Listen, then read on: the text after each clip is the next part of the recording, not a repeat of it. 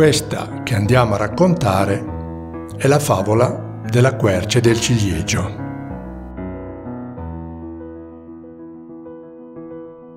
Lei, nata da una ghianda, che una ghiandaia, appunto, aveva sotterrato per l'inverno, ma poi dimenticato. Lui invece, nato dal nocciolo di una ciliegia, che una cornacchia maldestra aveva perso in volo.